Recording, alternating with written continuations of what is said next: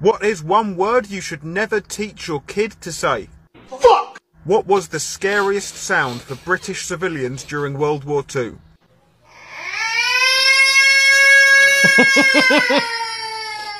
Which country has the largest population of humans in the world? China. Name something that someone with type 2 diabetes should not eat. A whole bag of jelly beans. In one word, describe Indian food. Spicy. Complete this sentence in the most romantic way possible. I want to be.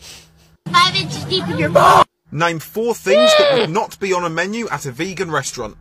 Hamburger, cheeseburger, Big Mac, Whopper. What is the worst thing you could say to your girlfriend when she's on her period? Someone woke up with an attitude. When countries started to go into lockdown during the pandemic, what was people's biggest fear? I'm gonna lose my job. Let me know in the comments what you want to see in part 4.